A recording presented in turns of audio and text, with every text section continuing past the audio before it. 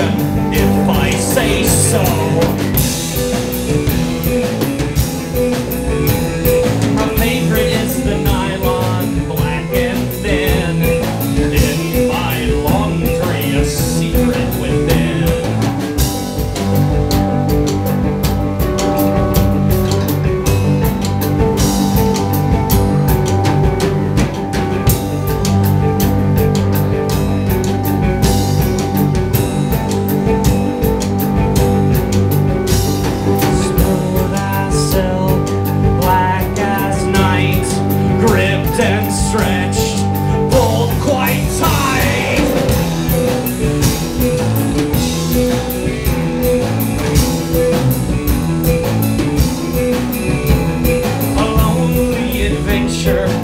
self-discovery, being